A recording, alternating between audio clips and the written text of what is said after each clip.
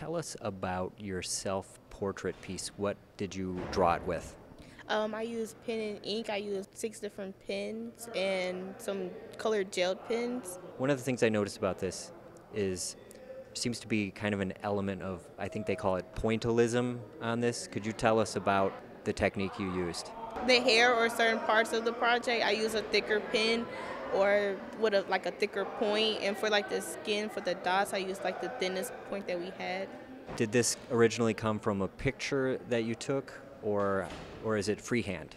Um, it was a picture that I took on um, Snapchat and then I um, printed it out and then drew it from the reference picture and then I had to like redraw like three times to get to where I wanted to be and then I had to sketch it out on sketching paper to get on better paper and then I had did the dots, the, the final actions of the picture. What would you say was the biggest challenge in this process?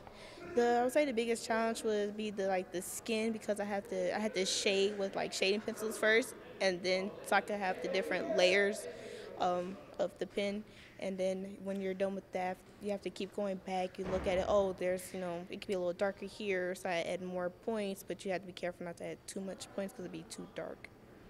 Sure, I was thinking that keeping those points consistent is probably a big challenge. Yeah, it really was because you don't want you have to make sure you do it because if you do it too hard, the ink might spread and you have big dots and you have like a lot of little dots and it'll just look a lot a big mess.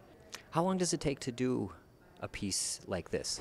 Well, it took me like two to three weeks. It probably could have took me sooner, but I was kind of lazy, and some days I wasn't really feeling doing art, so I didn't really do much because I didn't want to mess up my piece. But taking a piece like that takes a lot of time, so about like two, three weeks ish. What would you say is the most rewarding thing about doing this piece?